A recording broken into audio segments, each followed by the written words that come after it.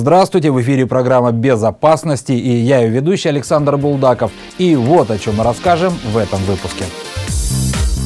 В Новосибирске начался самокатный сезон. Кто-то пользуется услугами кикшеринга, а кто-то видит в этом нарастающий ком проблем, связанных в первую очередь с безопасностью пешеходов.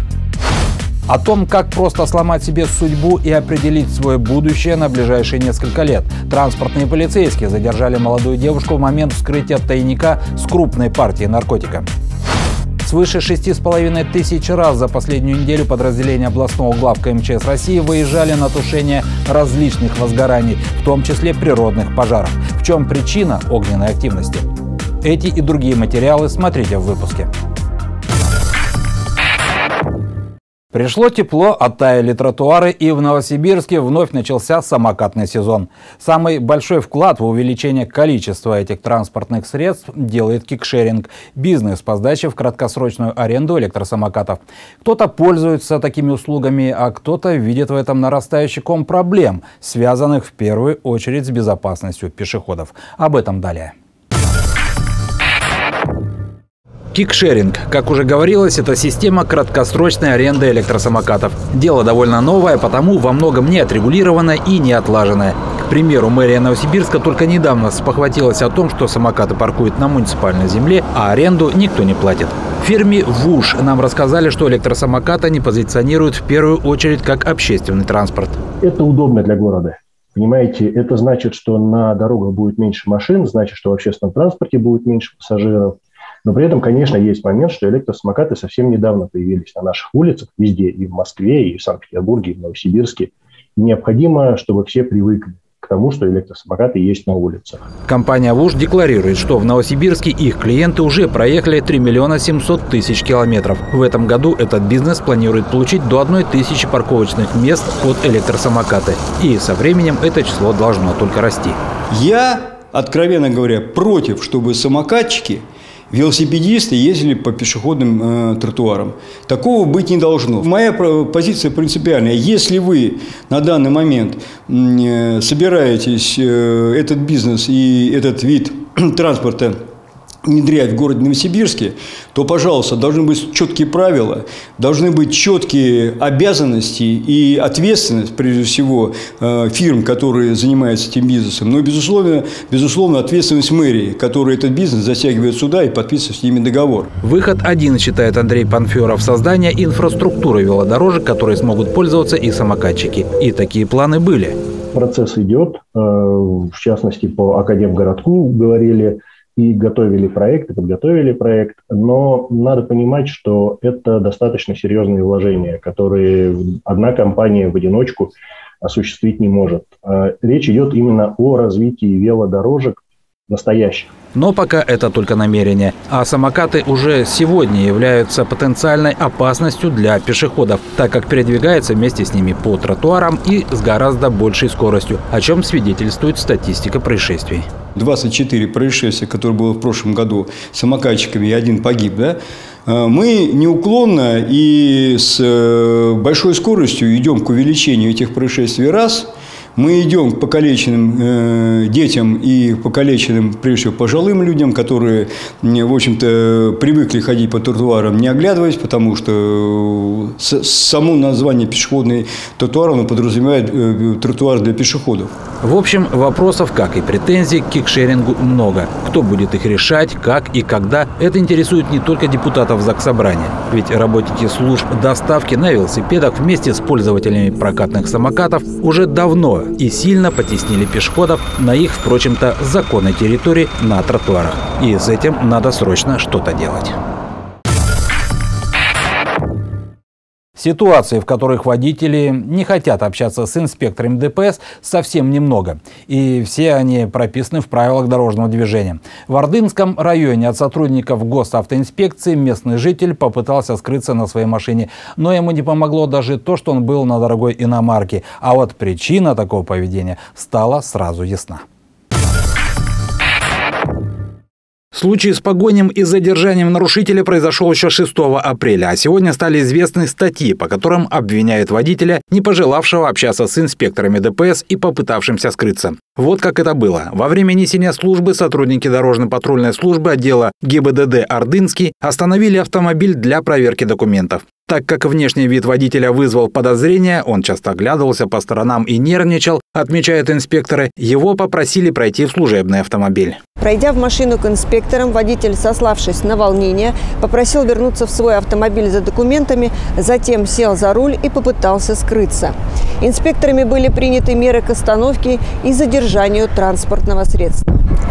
После непродолжительной погони мужчина пытался оказать сопротивление, но был задержан. Им оказался 36-летний житель Ордынского района. От медицинского освидетельствования на состояние опьянения водитель отказался. В отношении задержанного составили протокол об административном правонарушении за управление транспортным средством водителем, лишенным такого права. А суд назначил наказание 5 суток ареста. Также нарушитель привлечен к административной ответственности по части 2 статьи 12.25 Кодекса об административных правонарушениях Российской Федерации «Невыполнение законного требования об остановке транспортного средства» и по части 1 статьи 19.3 Кодекса об административных правонарушениях Российской Федерации «Невыполнение законных требований в части оказания сопротивления». Оказалось, что это еще не все статьи, по которым теперь могут привлечь горе-водителя. За повторную езду на автомобиле, будучи лишенным права управления транспортным средством, мужчине грозит еще и уголовная ответственность. А это уже гораздо серьезнее.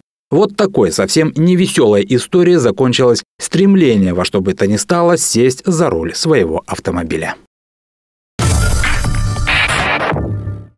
Транспортные полицейские задержали молодую девушку в момент вскрытия так называемого клада, то есть тайника с крупной партией наркотика. О том, как просто сломать себе судьбу и определить свое будущее на ближайшие несколько лет, далее в нашем репортаже. Девушку, подозреваемую в покушении на незаконный сбыт наркотических средств в крупном размере, сотрудники линейного отдела МВД России на станции Новосибирск задержали около железнодорожной станции Нижняя Ельцовка. Накануне, сообщили в полиции, в мессенджере фигурантка получила координаты местоположения тайника с запрещенным веществом и в момент вскрытия клада была задержана транспортными полицейскими. При каких обстоятельствах сегодня задержаны? Подняла сверток с наркотиками. А вы знали, что находится в свертке? Нет. Что планировали дальше с ним делать? Распространять, наверное.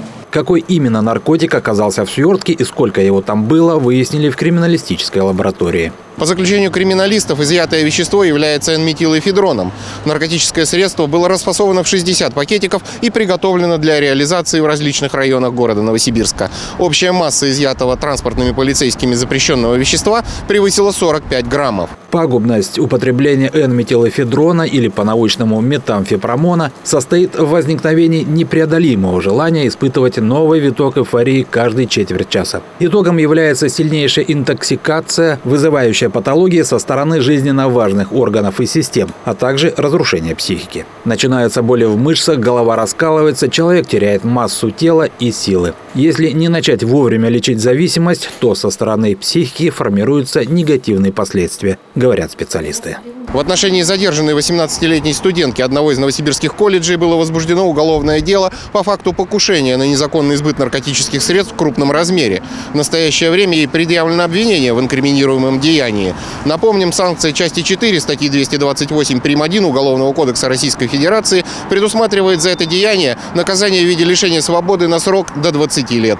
Что значит лишение свободы на такой срок для 18-летней девушки, наверное, говорить не стоит. И так понятно, что в случае обвинительного приговора жизнь свою она, может, и не разрушила полностью, но изрядно испортила. Более двух суток в Новосибирске не вывозился мусор с контейнерных площадок и из частного сектора. Причина известна. Водители мусоровозов отказались работать. Но это только вершина айсберга той проблемы, которая образовалась в сфере обращения с твердыми коммунальными отходами в нашем городе. Мы разобрались в ситуации. Последние 2-3 дня переполненные баки в новосибирских дворах – картина привычная, к тому же отвратительно пахнущая прокуратуре нам пояснили, что компания «Экотранс-Н», занимающаяся вывозом ТКО, задолжала за аренду мусоровозов. Ситуация действительно возникла из-за того, что образовалась задолженность по арендной плате перед э, э, арендодателем э, указанных транспортных средств. А арендодателя в одностороннем порядке заблокированы указанные транспортные средства. Когда своим водителям компания предоставила другие мусоровозы, оказалось, что на них работать невыгодно, так как они меньшей грузоподъемности. В связи с этим работники не вышли на линию и составили коллективное обращение. Суть обращения в том, что предприятие не обеспечивает их э, соответствующими автомобилями, э, машинами, которые они использовали ранее. А те э, автомашины, которые взамен предоставляются, соответственно, работодателям, по их мнению, не соответствуют техническим функциям определенным, в связи с тем они не видят смысла выходить и осуществлять трудовую функцию. Впрочем, одну работающую машину мы все-таки нашли. Выяснилось, водитель против забастовки. Сегодня мы боремся с мусором в городе Новосибирск. Нет забастовки. Если не вывозить мусор хотя бы два дня, посмотрите, что происходит. Мы наемные водители, и мы э, справимся со своей задачей. Несмотря на это, прокуратура все равно проведет свою проверку. Прокуратура проверяет соблюдение трудовых прав работников Экотранс-Н и исполнение законодательства об отходах производства и потребления при организации сбора и вывоза твердых коммунальных отходов. Предварительно достигнуты договоренности с арендодателем автомобилей и обществом с ограниченной ответственностью по погашению образовавшейся текущей задолженности по аренде мусоровозов. Рассмотрены вопросы улучшения условий труда работников предприятия. Региональный оператор по обращению с твердыми коммунальными отходами компания «Экология Новосибирск», которая должна быть в ответе за все, что происходит в этой сфере, заявляет, что ситуация уже взята под контроль. На сегодняшний день из 10 районов города Новосибирска 7 находятся в нормативном состоянии. Мы сейчас активно ведем а, работы по а, Дзержинскому, железнодорожному и Октябрьскому району. Выпущена дополнительная техника, а, проработала бригада дополнительного подбора. Кстати, тот факт, что мусор какое-то время не вывозился, жители Новосибирска должны прочувствовать и через начисленные суммы платежей. Не стоит обращаться к региональному оператору за перерасчетом. Мы в автоматическом режиме проведем перерасчет по всем площадкам, где было превышение нормы.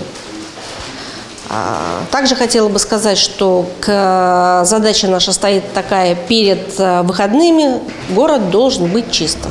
Скорее всего, к выходным из города и правда вывезут весь скопившийся мусор. Но раз такая ситуация возникла сегодня, есть ли гарантия, что проблемы с вывозом ТКО не возникнут завтра? Похоже, вопрос остается открытым. Свыше шести с половиной тысяч раз за последнюю неделю подразделения областного главка МЧС России выезжали на тушение различных возгораний, в том числе природных пожаров. Это в шесть раз больше, чем недели раньше.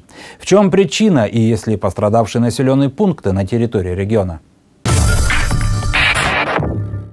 Противопожарный режим в нашем регионе начал действовать с 15 апреля. Впрочем, люди не спешат его соблюдать и тем самым подвергают опасности себя и других. Об этом свидетельствуют статистика и сводки чрезвычайных происшествий. К примеру, в поселке Девинка Болотнинского района Новосибирской области 79-летний пенсионер решил очистить свой участок от сухой травы и мусора, нагреб несколько кучек и поджег их. Зашел в дом, так как думал, что они догорели, а затем из окна увидел дым. В итоге лишился собственного дома и всех надворных построек ну, стал траву тут в уголке обжигать. Ну, где-то затаилась, потом раз покоя, все, пусть сразу, и все, и пошло горит. Где теперь жить-то будете? А где? А вы знаете, что, что траву нельзя жечь, тем более ветерок такой дует? Это ясно дело. Это хорошо, что соседи, увидев дым, вызвали пожарных и еще до их прибытия вытащили через окно с противоположной стороны охваченного огнем дома пожилую женщину, которая с трудом могла самостоятельно передвигаться. В течение прошедшей недели зафиксировано 5458 термических точек, из которых около 70% 5-километровая зона от населенных пунктов. Коллеги, это практически четверть от всех термоточек в Сибирском федеральном округе и наибольшее количество по всем субъектам Сибири. Наиболее горимые районы за отчетный период – Куйбышевский, Убинский, Доволинский, где зафиксировано около 40% термических аномалий от общего числа за отчетный период. Основная причина возгорания в лесах и полях – пал сухой травы, отмечает в МЧС. В некоторых районах области произошли крупные природные пожары. В Купинском районе при тушении пожара привлекался опорный пункт по тушению крупных пожаров, задействовались дополнительные силы с двух соседних районов области. Во всех случаях причинами пожаров послужило неосторожное обращение с огнем при сжигании мусора и сухой растительности. Отдельно отмечаю Венгерский район, где пал сухой растительности на площади 30 гектар перешел в населенный пункт Серп и Молот. В целях профилактики природных пожаров в регионе будут разработаны специальные меры, согласно которым сельхозпроизводителям Новосибирской области, использующим пал травы для очистки своих угодий, государственная поддержка предоставляться не будет. Напомним, что особый противопожарный период продлится до 10 мая. Один мудрый человек заметил, лето – это сезон безответственности. Смотрите программу «Безопасности» на канале Энск-49 и не забывайте, что природа не потворствует слабости и не прощает ошибок. В студии был Александр Булдаков. Всего доброго и берегите себя. Thank you.